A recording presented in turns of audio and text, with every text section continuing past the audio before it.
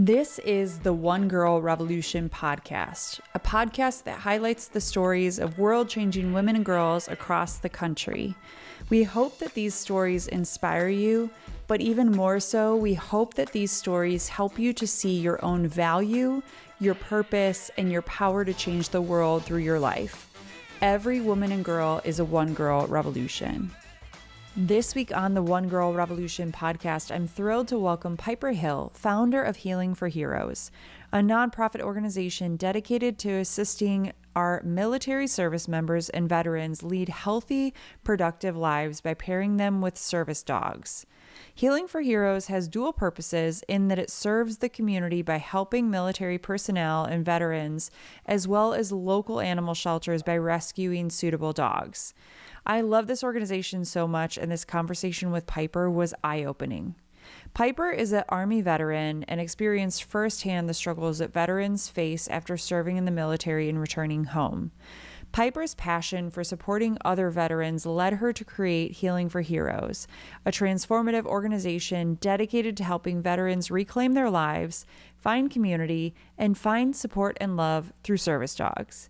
Healing for Heroes provides life changing service dogs to veterans struggling with PTSD, traumatic brain injuries, and other challenges related to their service. Through her own life journey and witnessing the profound bond between veterans and their service dogs, Piper has seen firsthand how these loyal animals can provide comfort, security, and a renewed sense of purpose. Healing for Heroes not only helps veterans and service dogs find one another, but it also builds a powerful community of support, connection, and hope. On today's episode, you'll hear Piper's inspiring story and learn more about the powerful and incredible impact of Healing for Heroes. Join us as we dive into a conversation about resilience, purpose, and the unique way animals can help us heal. Here's my conversation with Piper. Piper, welcome to the One Girl Revolution podcast. Thanks. Thanks for having me. I really appreciate it.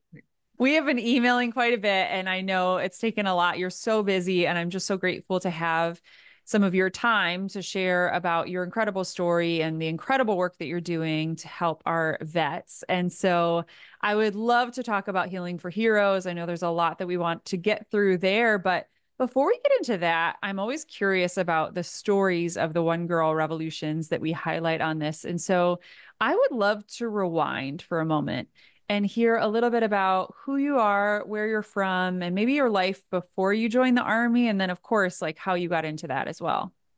Oh Lord, that's that's a very big span right there. So I was born. No, um, I uh, I guess I had the typical middle class family in America. My dad was in the army. Um, did not know till later that my mom was in the WAC. Um, and they met in the service. Didn't know that till probably after till I was active duty, I think. Um, so Desert Storm was kicking off, and um, well, it wasn't quite. Uh, I was already enlisted, and um, stuff was starting to kick off in Desert Storm. So I enlisted, gotten an incredible reserve unit in Louisiana. It was a 321st MMC, had the best commander I've ever had in my whole entire Army career. That was my dad. It was phenomenal seeing, not just knowing him as a dad, but seeing him at work and doing what he did, everything he did, he did better than anybody. But watching him in the service was amazing. Just his his compassion, his forethought, what a good commander he was. Got to see like a different side of the army too, being around him. But then I also got to see a negative side of the army because I was the commander's daughter. Even though I didn't work directly for him, it made a lot of people angry that I was there. But I always had to run faster, shoot better, be smarter, and to prove myself. But it, I'm glad that happened when I was enlisted because after I got my commission, when I went active duty, as a woman in the service, I still had to do that. I had to run faster, shoot better, be smarter than everybody um, around me. Because um, there were not that many women uh, when I went active duty. There were not that many. Well, there were definitely not that many Army officers at all. Um, but I loved every minute of it. I had a great time. It was a great career. Um, and I met some of the most phenomenal people, I think, in the world from all backgrounds, all backgrounds, from all across this country and sometimes other countries. I'm sure it was so interesting to meet different people and learn so much about yourself and about the world. And I was going to ask you, you know, what that experience was like being in the military, but you shared a little bit about being a woman in the military. What are some things that you learned about yourself through that whole experience?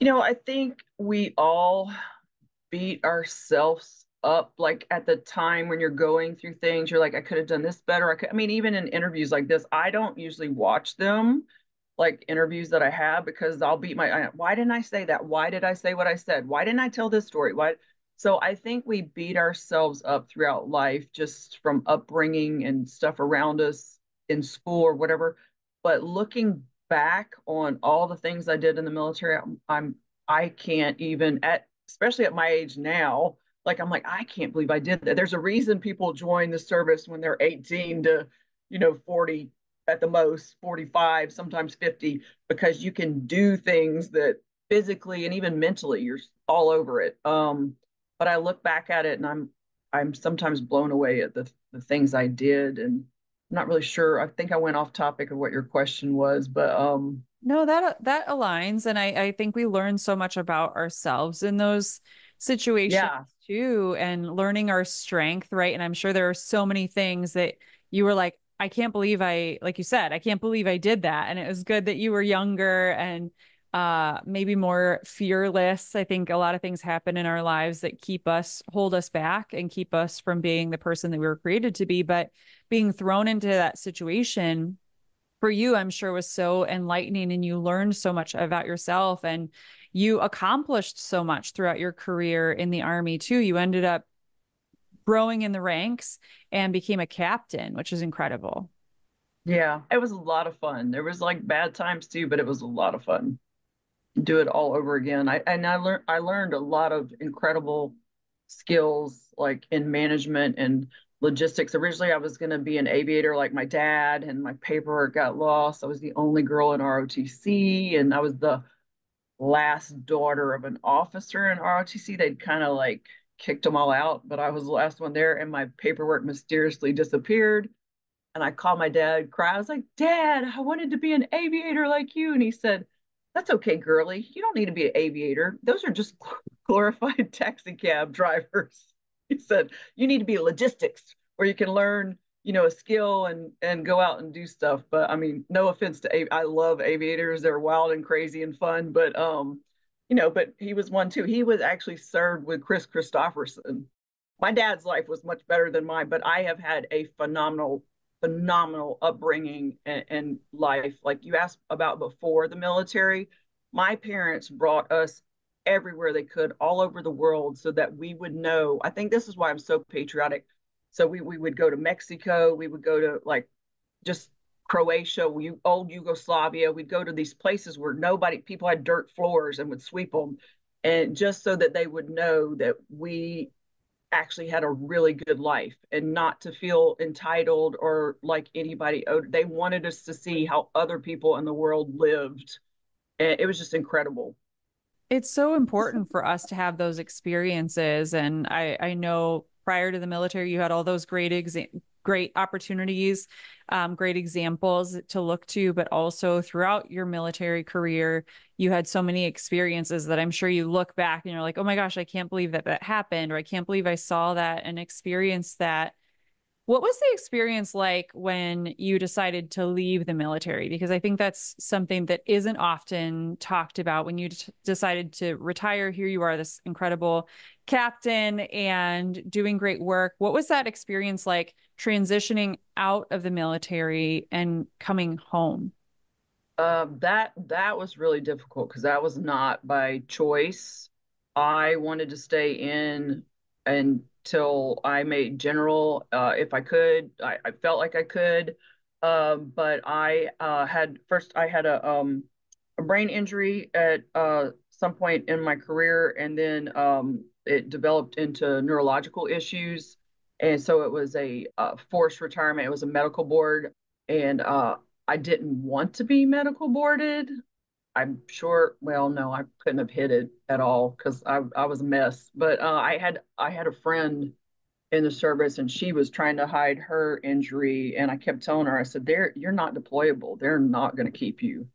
Don't even try. I mean, she just was not deployable anymore. So um so it was really difficult for me because I did not want to leave. It, was quite the struggle, but it, I mean, there was nothing I could do about it. And then, um, then I felt kind of after that happened. So I was on, I became uh, TDRL, which is temporary disabled retirement list, which they later renamed the Wounded uh, Warrior List.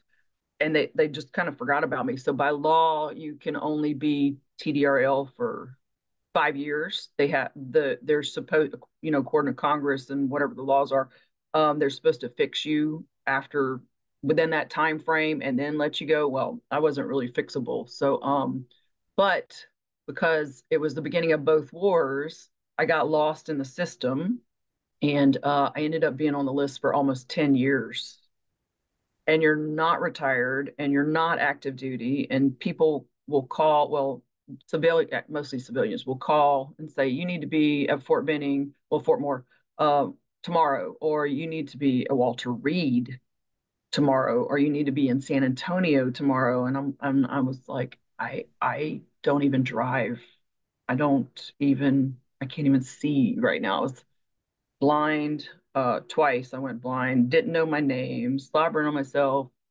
I don't remember about three to four years of my life. But so it was it was very depressing. And there was no compassion no compassion what but you know when you think about it back then i was really mad. Well when i when i knew what was going on i was really angry uh, about it and i was really mad at the army and the department of defense. But it, it's just a huge machine and a, it's it's a huge number of people. They didn't know me from adam. They weren't trying to not be compassionate. I'm sure somebody would have been. And i'd run into people every now and then that go they would see my paperwork and go oh my goodness i'm so sorry like I even had a man at fort mcpherson when it was still open um, I said, I think I'm coded wrong. And I brought him my retirement paper, well, my TDRL temporary retirement paperwork. And he said, Oh my gosh, you're coded wrong all across. And he recoded everything because I had been paying out of pocket for medical stuff that I was not supposed to be paying for because I was coded wrong because I was one of the first people that was injured during during both wars going on. Uh, so they didn't know what they just lost me in the system because then you have all these people coming back from overseas and they didn't know what to do with any of them. They're all they were trying to figure it out and I just happened to be in the first wave of everything since 2002. Yeah, You're, so I was really now I'm not anymore. I think all I think all that happened, everything that happened, like from me laying in the bed and slobbering on myself till now, it all happened so that I could be here today and run the program that I'm running for other veterans so that they don't feel alone and they don't feel discarded like I did. Watch our Emmy nominated documentary series featuring The Girl Inside and In Tandem on our website or on our YouTube channel today.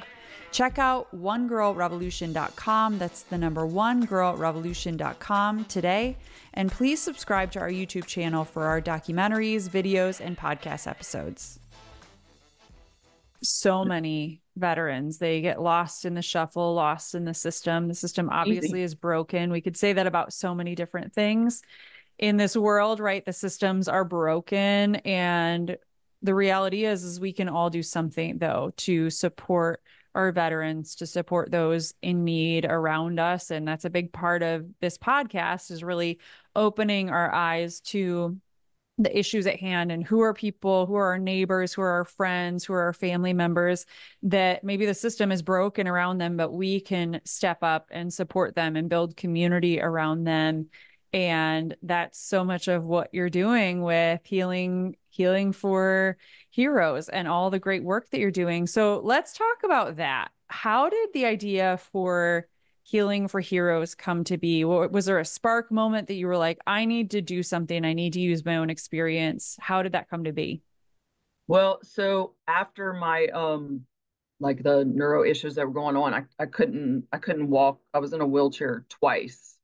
Um and I was laying in bed at Fort McPherson and something um I had seen something on TV. I think it was on Animal Planet, maybe a dog was doing something for somebody, and I thought, I, I remember this specifically um, because I didn't have enough sense to put my medicine next to the bed. It was in the bathroom, and I couldn't get out of the bed a lot. Sometimes I would call the maintenance men at Fort McPherson to, to just to bring me water um because I couldn't I couldn't get out.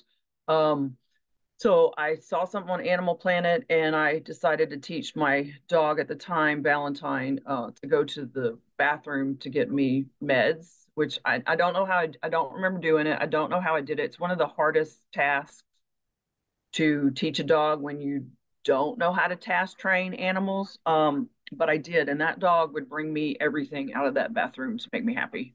She, I mean, just anything and everything. And she was an American Bulldog. She weighed about 90 pounds. She had like she was uggo with long legs so she had um jowls and then the underbite. And she would go to the bathroom and she would get medicine and she would come back to the bed and she would have like three bottles of medicine hanging out of her and she would spit it onto the bed. Sometimes one would be hanging off the jet like stuck you know how when you put something dry in your mouth and it sticks to your lip and I'd be like come here let me get that off your off your face she would like throw them on the bed and go, did, you know, did I do it? I imagine her saying, did I do it? Did I? And go, no, no, go get, go get meds. And she'd go back she'd grab some more bottles and she'd bring them back. And then I'd go through them and then I go, yeah, you did it. And she would go, yeah. She would jump around like a deer. It was so, it was so funny. She just did everything to make me happy. A couple times she brought me toilet paper. Like just, she was getting whatever she could to just fix it. But that was kind of the beginning was Valentine. And then I was, um, watching all these young people come back from Afghanistan, then Iraq, and I was at at the time Fort Benning trying to retire. Uh, I picked a place I knew. They wanted me to go to Augusta, uh, to um, Fort Gordon. That's what it was at the time. And I, I didn't know long term memory. I knew, but short term I didn't. So I said I'll go to Benning because I'd been to Benning like three times in my Army career. So I said I'll go there. I know my way for the most part. So that I was trying to retire out there, watching these young people come back and wanted to help them retire. But I mean, I couldn't even retire. I was on the list almost 10 years. So I said, well, I can't help them retire, but I can give them a Valentine to help them, you know, help them fight their battles and help them retire. So that's kind of how it started. The whole inspiration for the program was her. So, share with the audience what is Healing for Heroes and talk about the great work that you do. Um, Healing for Heroes is a we're a nonprofit, a 501c3 charity. Uh, we train service dogs for veterans with any disability.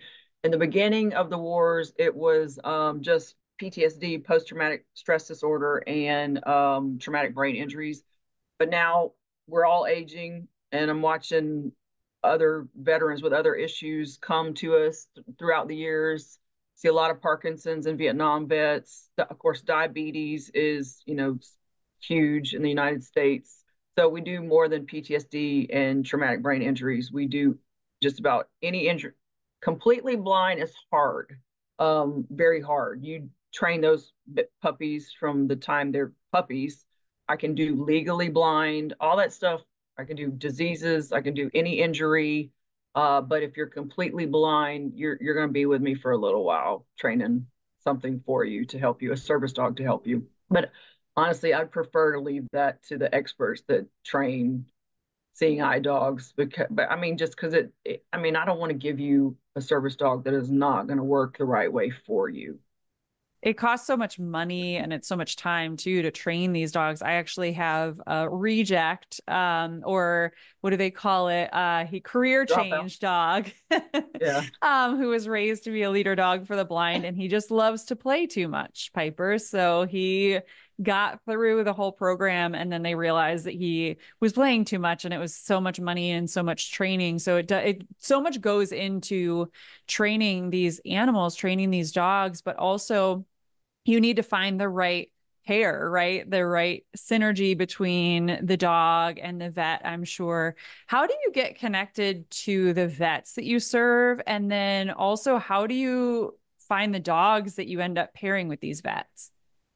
Um, so word of mouth uh, is a was mostly how it was happening in the beginning. I mean, we've been operating since 2008, so word of mouth was the beginning. But now the I have like seven VAs that send me veterans from mostly the southeast. Ohio, uh, South Carolina, Florida, uh, Georgia, Alabama, um, Tennessee, Kentucky, North North Carolina does too, and Virginia. So I guess that's more than seven now. But I have VAs that actually we're one of the only groups they will send veterans to to get a service dog. People see my veterans walking around, and there's a lot of them all across the United States walking around with a service dog, and they'll ask where they got them, and they'll direct them to us. What What was your other question? Um, how do you find the dogs that you oh, end up training? That's a really good story. So, um, so I mean, you can temp test, temperament test all day long for dogs at animal control. We we get dogs from animal control that people can't keep in the community around us, and then my veterinarian. They might have uh, people that can't keep their dogs any longer for financial reasons, or the dog's too much, and they'll say, "Hey, we have this great dog that I don't want to euthanize. Would you?" And they don't want to bring it to animal control, so I'll go visit them and um, we'll take them in. We've actually gotten a couple of dogs from the veterinarian that were biters, but they they weren't. It's not that they were they were just kind of like like say bad children that had didn't have enough structure and so they like to fight. I don't know. So not necessarily with other they, they were just biters. They just needed structure and uh, regulation and just like privates in the army. They just needed to be told where to go what to do and needed more rules. But now the dogs from the shelter that we get or used to get, they could pass every temperament test in the world. And then I would get them home and I, I'd get them healthy or they weren't scared anymore. And then Fluffy, that I thought was great at the animal shelter, now wants to eat my face off.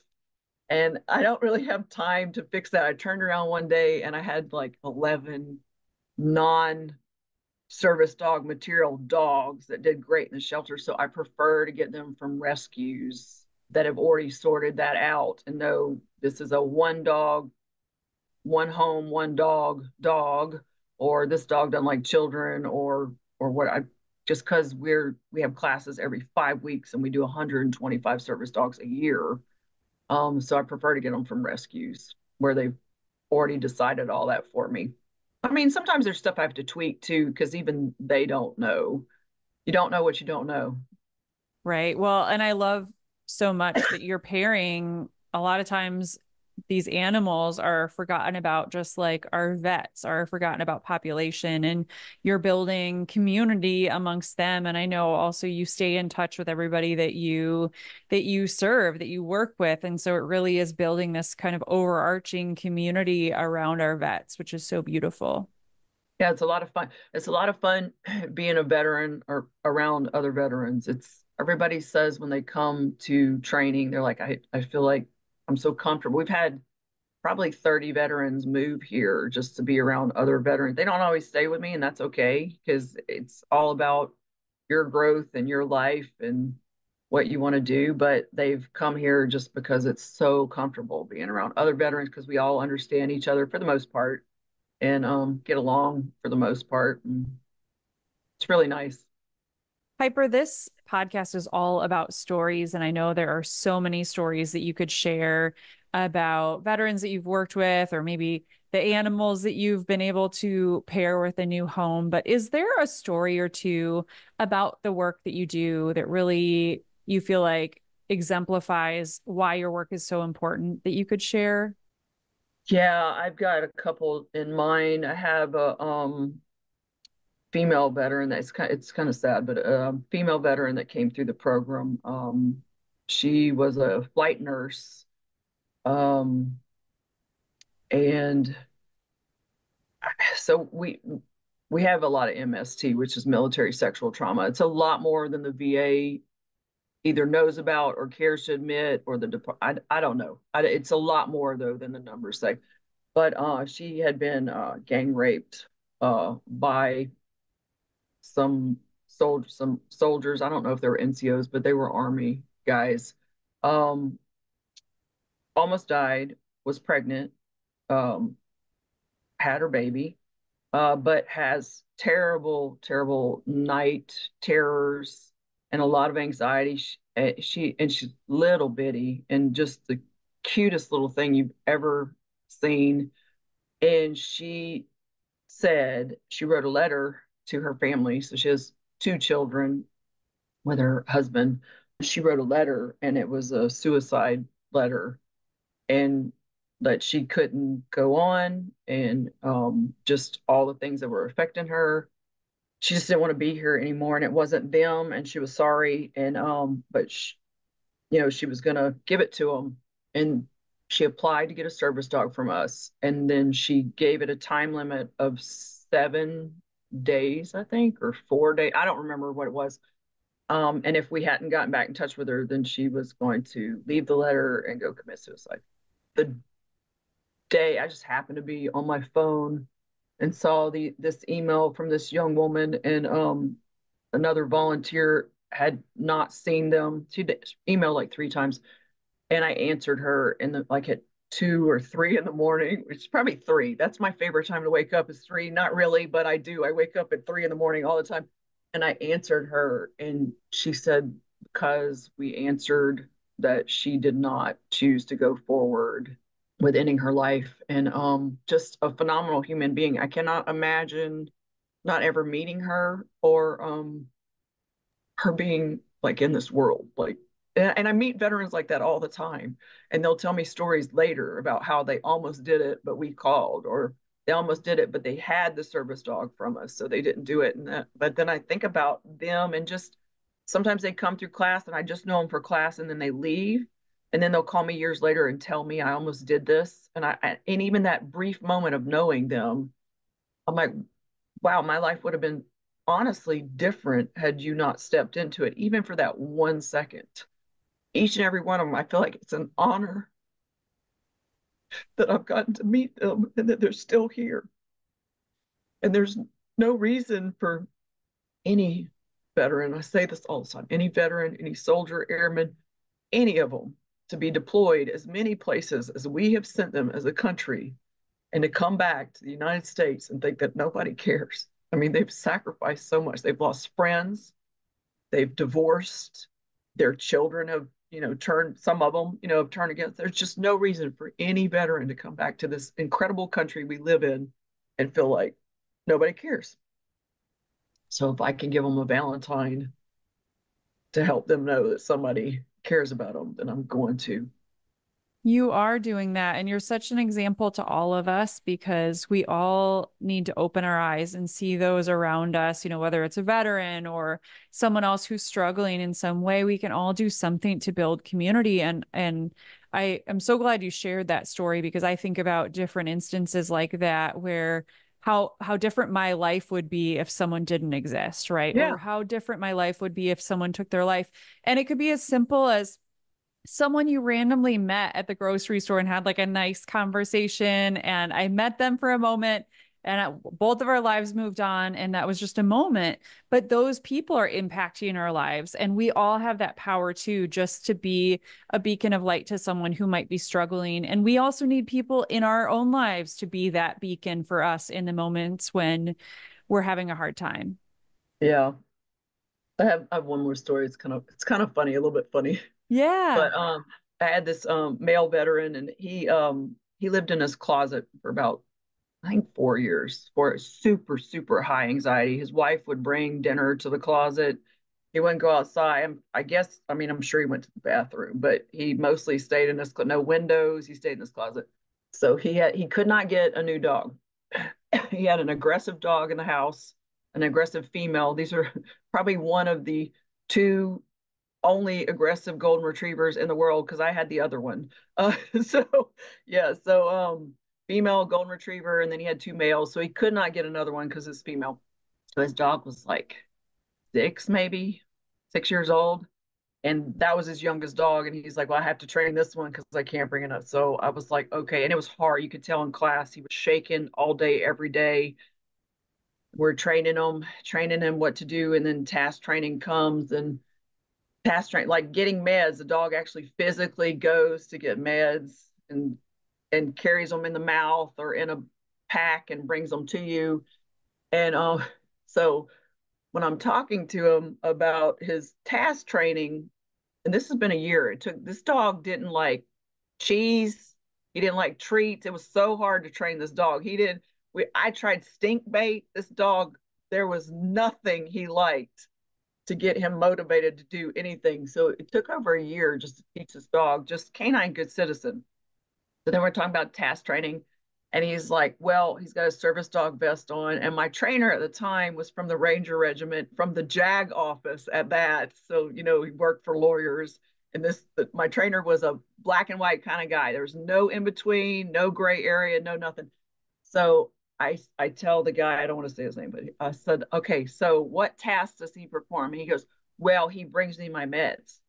I said, that's great can I see it? He goes, yeah, yeah, he's bringing them to me right now. And I'm like, I don't see any med there. And I said, where, where are the meds? And he's like, they're in the pockets on his vest. and my trainer goes, my trainer's like, Miss Piper, Miss Piper, that is not a task. He's just wearing his vest with his meds in the, in the vest. And um and he, so he could not perform that task at all. And and my trainer's like, we're failing him. He's gonna fail he he has got to fail. This is not right. This is not legal. This is I mean he dog did other stuff though.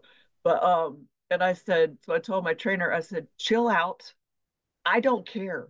This man lived in a closet for almost 5 years. The fact that he is not in a closet and he's going out to eat and he's going to things at school. His wife was a teacher. They didn't have kids, but he would go to stuff at school.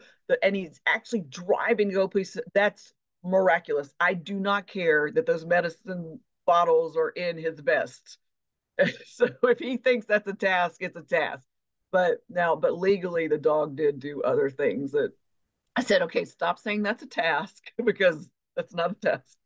But your dog is doing this, this, and this. It was like other things that we had actually taught him in class. But this is funny. He's like, yes, he's bringing to me them right now. I'm like, mm, I don't see any medicine. So, there's hope for everyone and even the, some of these dogs they can't do certain tasks but it's the little things too right just having a companion to go out and i'm sure this that just his life changed when this dog came into his into the picture and into his well, life i mean we know from studies in europe and well even studies in the us that having any animal cats and dogs is going to help us live longer and help us live health, healthier happier lives lives. But um, but unfortunately, having just the dog as a companion does not make it a service dog. They have to have legal tasks that they perform. And I'm just so glad that this dog that didn't like even stinky cheese or stink bait, you know, was able to do some stuff for this to make him a le- legal service dog because he really, he really did need a service dog that's a good clarification too for people. I know we've all seen animals at the airport or other places that have a service dog vest and you're like no way is that a service dog. Like believe me it's not. So it's important to get them trained and for them to be legitimate service dogs when they're wearing those vests and stuff If you're enjoying this episode of the One Girl Revolution podcast, please subscribe today on Apple Podcasts, Spotify, YouTube, or wherever you listen to podcasts. We have a new inspiring episode coming out every single week, and you don't want to miss a single one. Subscribe to the One Girl Revolution podcast today. Where does Healing for Heroes go from here? We've paired with a uh, organization that's building um, homes for homeless veterans. So we're we're going to be the dog trainers within those compounds. Uh, we're going to we're going to train veterans how to train service dogs, how to train dogs, how to groom dogs.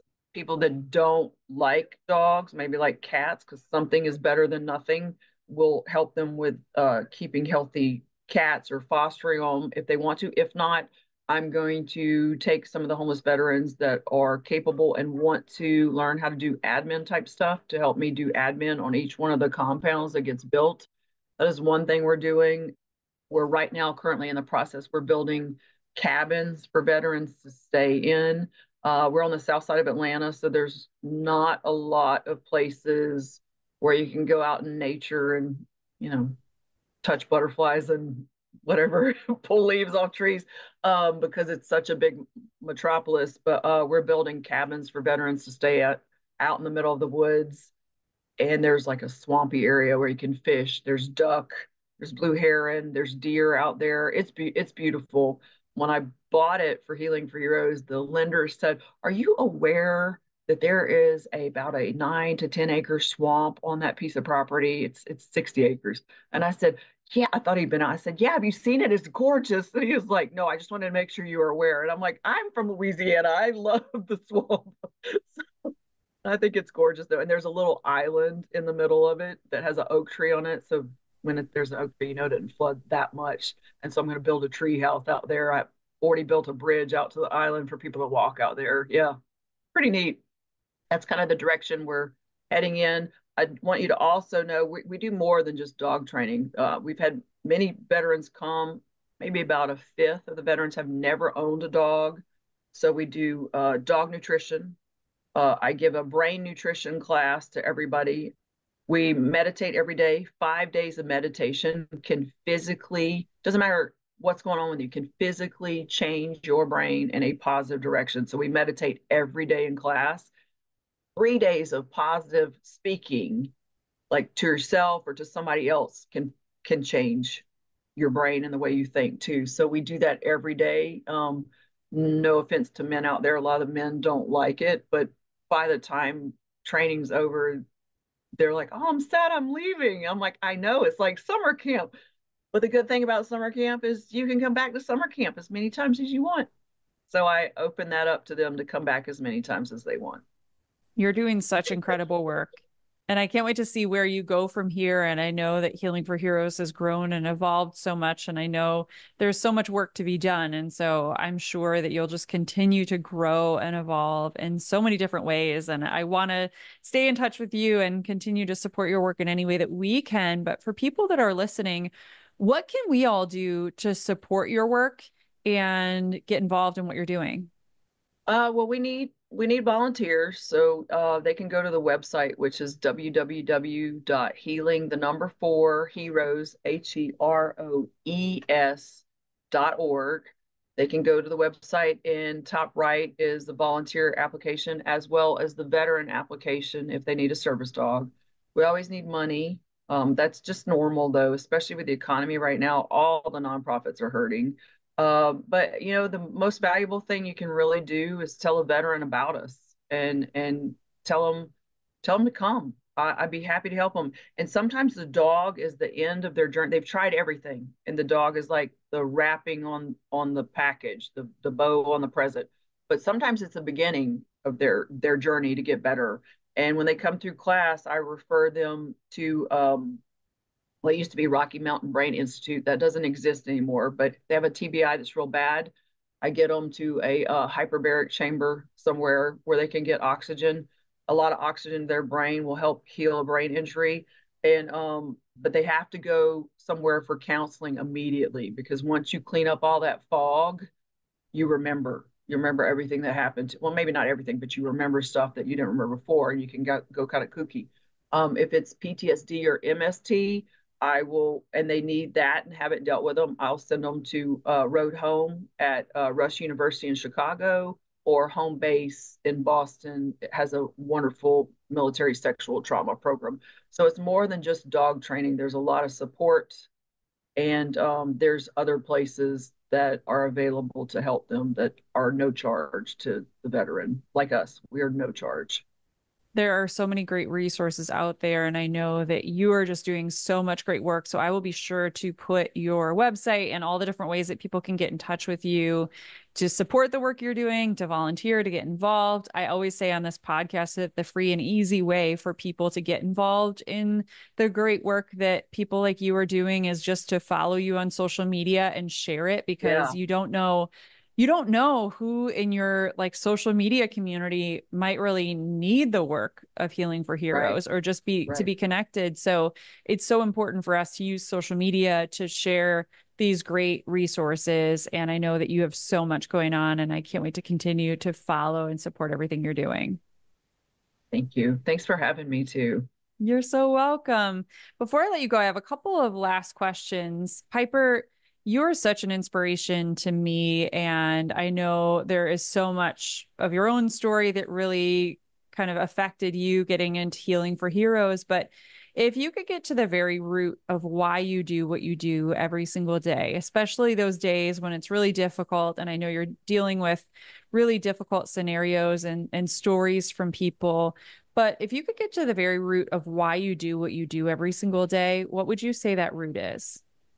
I honestly, I, I just don't want anybody to feel like I, I felt very, very dis- discarded and alone, and I didn't want to be here anymore. I really mm-hmm. didn't.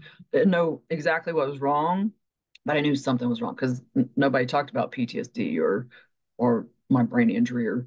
Uh, I just knew I was not the person I was before my injury, and and I just didn't want to be here. And like I said, there was no program. So I don't want other people to feel like I did.